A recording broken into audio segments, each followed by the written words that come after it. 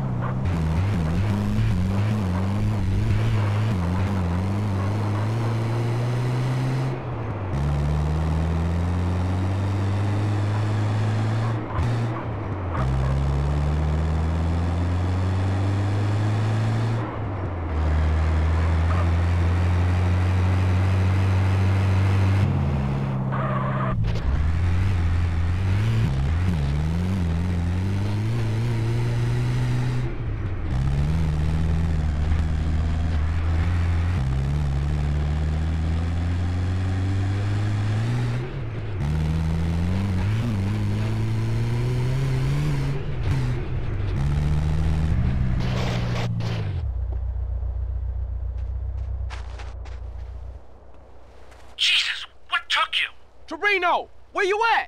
Miles away. No time for niceties, kid. Choose a vehicle, grab the equipment I've provided, get to that drop zone, and wait for that package.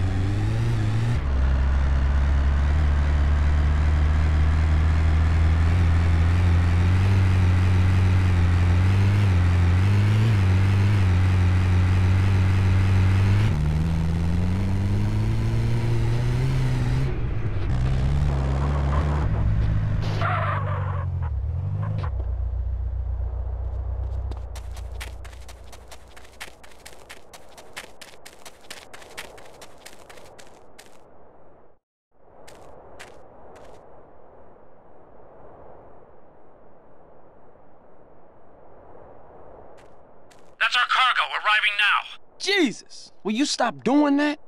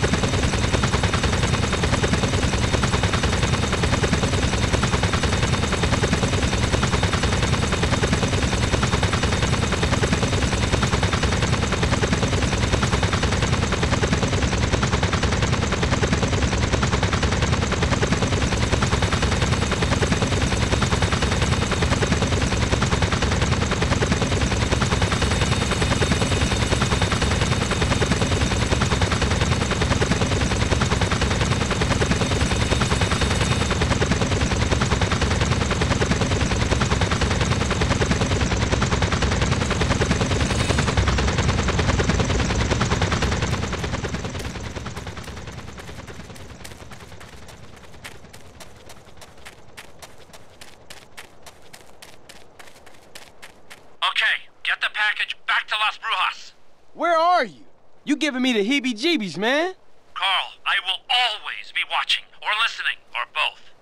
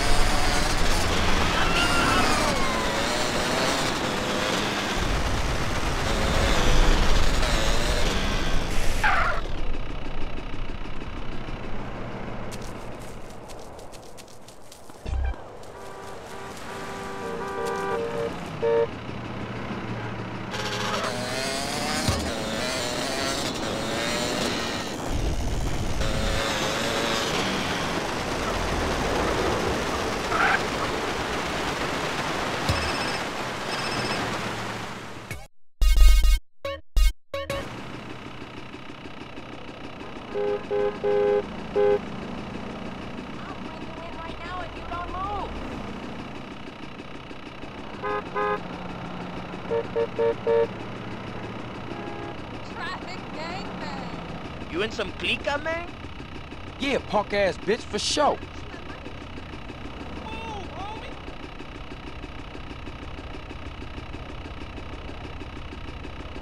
I do for me. I'm getting too old for you. Do you not see me? Hiya. Sir. Fucking don't make me wanna you. Yes, very bad. Ever touch a big wet? Yes, truly unfortunate. Bye, darling. Enjoy yourself, sir. Do you think this Raya looks nice?